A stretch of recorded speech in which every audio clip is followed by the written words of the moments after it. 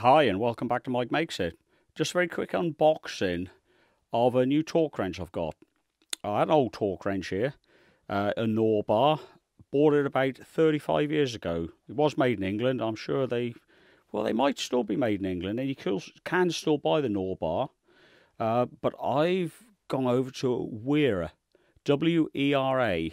Uh, same half-inch drive on the end, which is what I'm looking for the old Norbar, um, he would go up to about 110 foot-pounds, uh, down to about 20.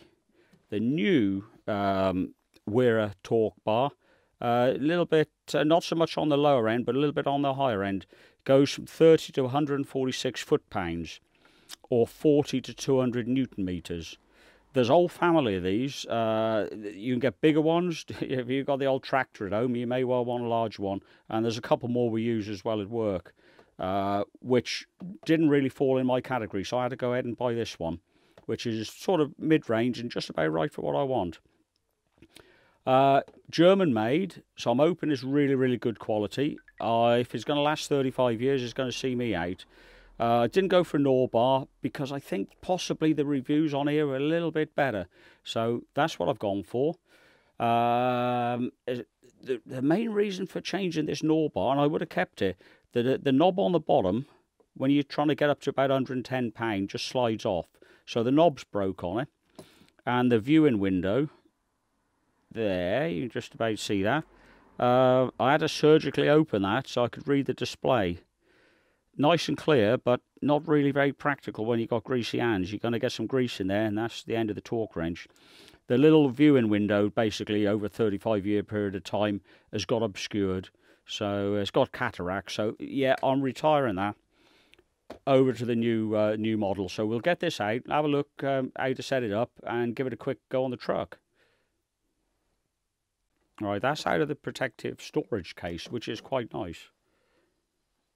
So you can put these are quite I wouldn't say delicate, but you don't want to throw them around. So uh, I'm quite pleased it's come in a storage case there, and there is like a baby buggy bumper on it, which is removable. It's a two-part thing. You can slide off if you don't need it or it gets in the way. But I'm going to leave that on for now. We'll see how good or bad it's going to be. Uh, hopefully it's not going to get in the way too much. It's got a, what they call, uh, Wera switch. So depending on which way you're driving the half-inch drive, you flick the switch and you can drive the other way. In the manual, they say you should only torque up with a right hand thread. I'll need to just double check with them. I'll, I'll clarify that in the comments because it's possible you've got left handed threaded bolts on some kits and you want to tighten them up left hand thread wise. And that's what that's for, I'm sure. So it might be a bit of contradictory or Mike's read it wrong. But I can't see a lot of point in having uh, a left hand thread turn there, basically if you can't torque up left-hand threads. Uh, you're certainly not going to use this as a breaker bar. You do not want to be doing that. But let's go over to the display. You've got at the end here a lock-in tail. So I don't know if I can do this with one hand. Probably not. There we go. You need to pull that out a little bit. Then this handle will turn. So you can dial in the figures you need. Now everybody over the last 35 years seems to have gone to Newton meters you look in the Haynes manual, they do say newton meters as well. I always use pound foot pound uh, foot pounds, but it looks like I've got to migrate over to newton meters because largely that's what the display is telling me. In smaller digits on the left hand side, it is still in foot pounds. Let's just mount the camera in a position I've got both hands and I can show you the display here and how we adjust it. Right, there we go. We've released the tab on the bottom. The tab locks a handle. That's to prevent you from turning it when you're actually using it.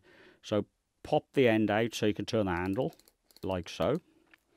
The most significant figures in the display here are Newton meters.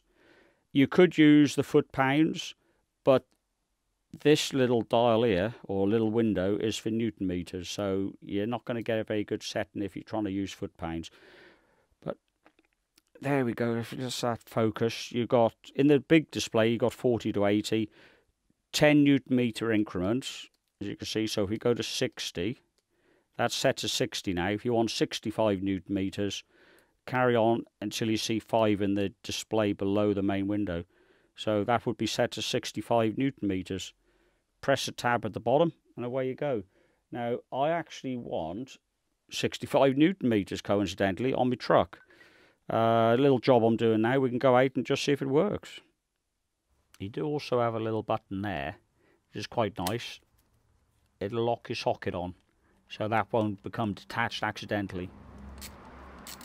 So, press the button, take socket off, press the button, socket back on. Uh, so yeah, let's, let's get these bolts done up.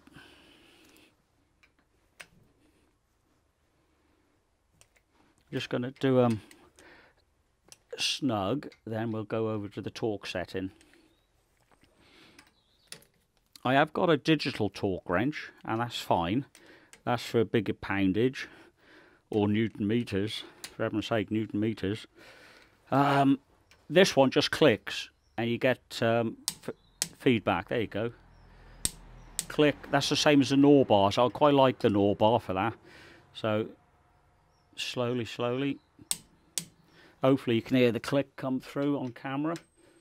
And you do get uh, feedback through your hand. You can feel it as well. So that's all well and good.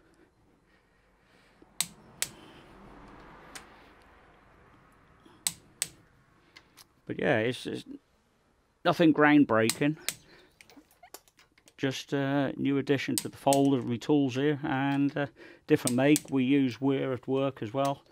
Had no problems with them so at the moment I'd recommend them. Norbar's still good. Certainly the one I bought. What the quality is like now 35 years on I couldn't tell you. But yeah there's an Norbar C3 switch. Very very good. I'll put a link in the description. Hope you found that useful